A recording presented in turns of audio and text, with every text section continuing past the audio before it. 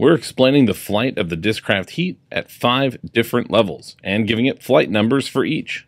But first, what makes the Discraft Heat unique? The disc is in the details.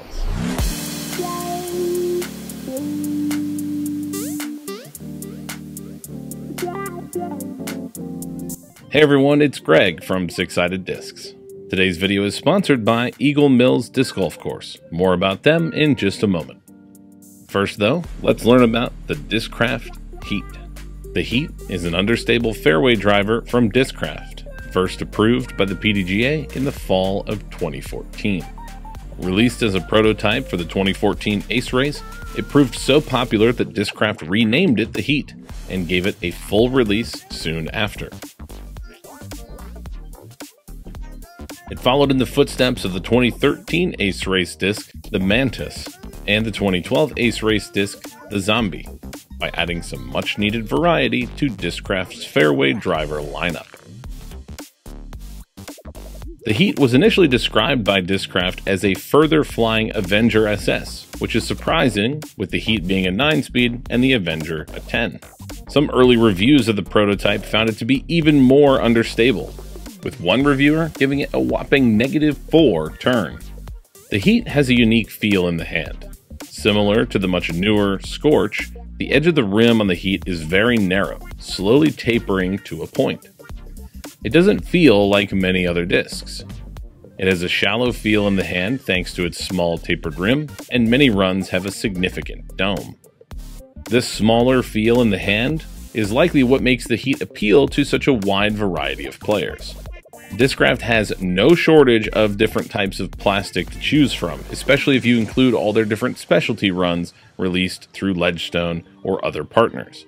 The Heat is typically available in several stock plastics, including Z, Big Z, ESP, ESP Flex, Titanium, and X-Line.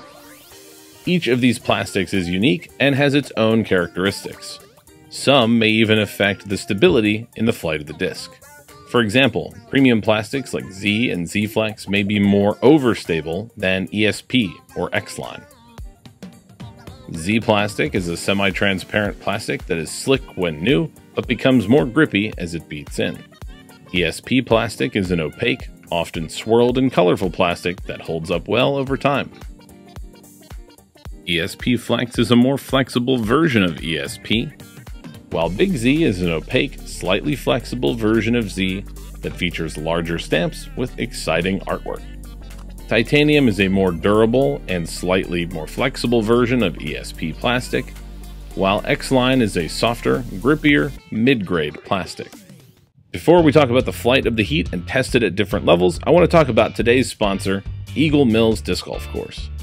Eagle Mills Disc Golf Course is a private course located in Londonderry, Ohio, about an hour's drive south from the state capital of Columbus.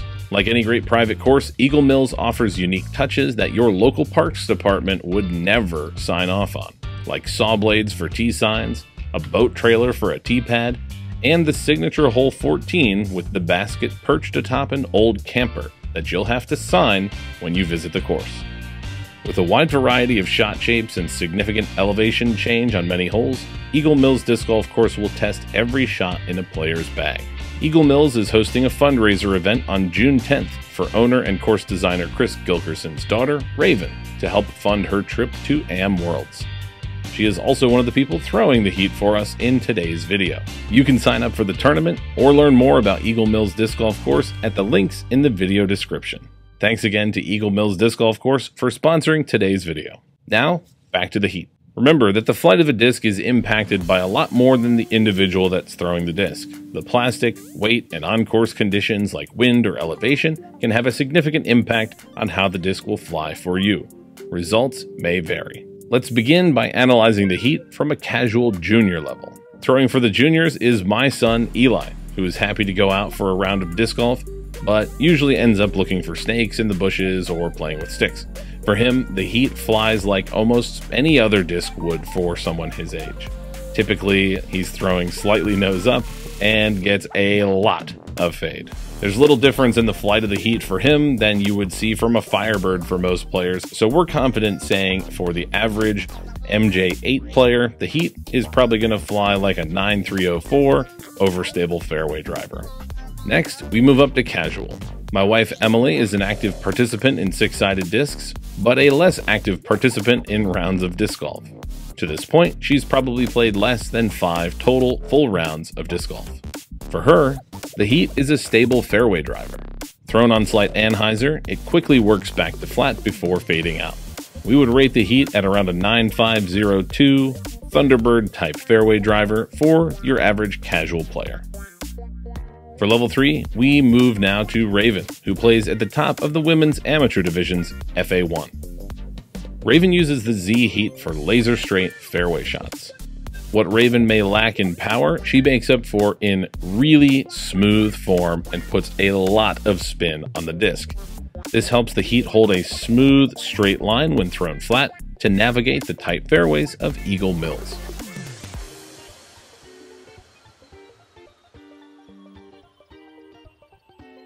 While the Heat may prove understable to many power throwers, for lower arm speeds, it can be an incredible straight fairway driver. At level 3, the Heat flies more like 9501 or 95 negative 11. For level 4, we move to the border of MA3 and MA2, which is where I last found myself when I played competitively. While I can put a little bit of power into my backhands, I can only do it a few times before the elbow pain kicks in.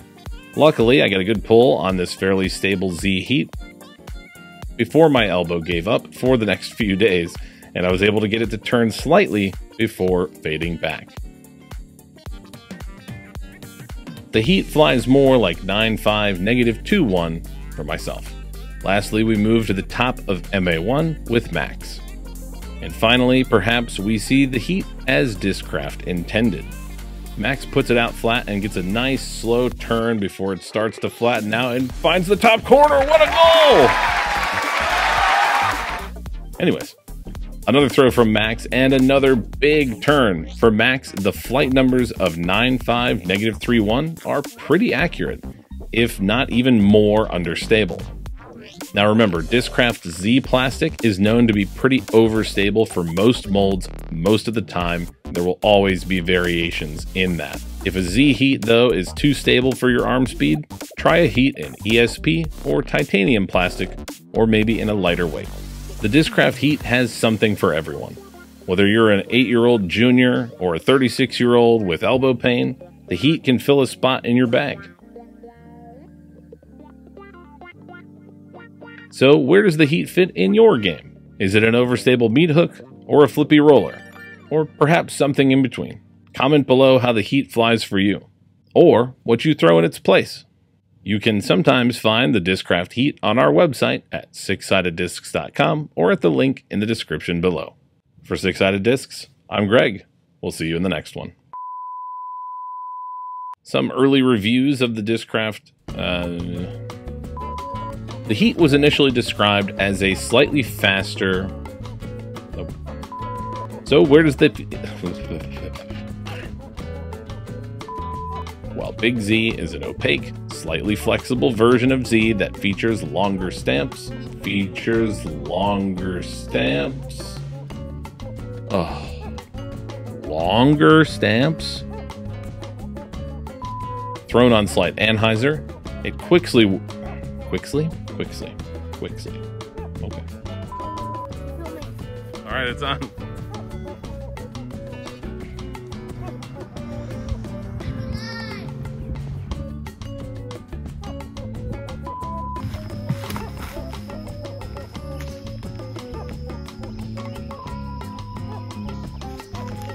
That was so long.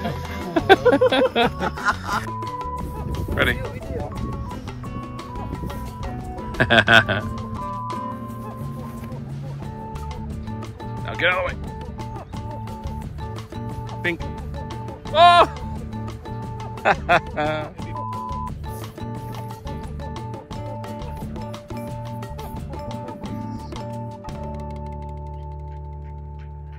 I made the cut!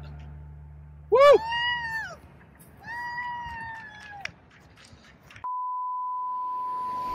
Comment below what disc we should do next. Remember, the disc is in the details. If you like this content and want to see more, please consider liking the video, subscribing to our channel, or supporting us on Patreon. Your support makes this content possible.